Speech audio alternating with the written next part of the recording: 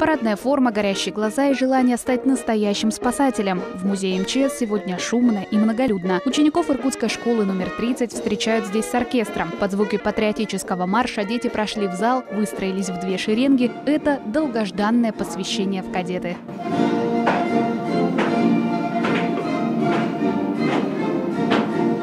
Многие дети мечтали об этой минуте много месяцев. И вот, свершилось. Школьники дали клятву служить на верность Отечеству. Когда я приходил домой, по телевизору шло программа про спасателей. Мне очень понравилось и заинтересовало. Я попросил маму, чтобы в будущем стал спасателем. Я стал такой уже мужественный спасатель. Торжественно клянемся быть преданным своей семье, своему народу, своему Отечеству. Клянусь!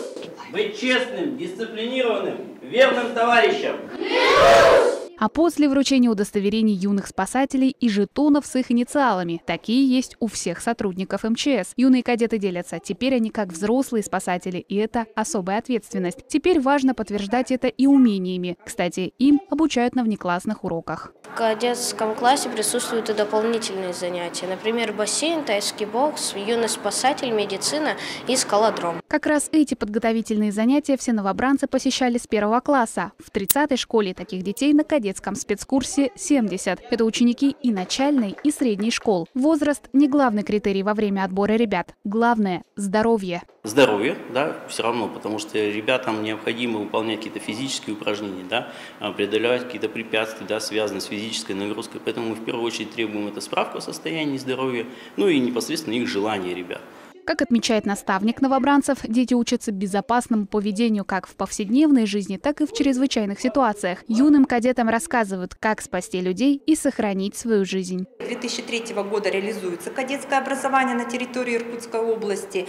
И первый кадетский класс был действительно создан по запросу главного управления. Но потом движение набрало такие обороты, что сегодня уже социальный запрос на создание кадетского класса МЧС идет от родителей, от образовательной организации, организации, от общества. Сейчас администрация школы сама решает, есть ли необходимость в создании таких кадетских классов. Такое образование могут ввести в учебный план или оставить во внеурочной деятельности. В 30-й школе дети собираются в свободное от уроков время, общаются по интересам, участвуют в кадетском движении во всех его традициях, а также конкурсах, фестивалях и смотрах.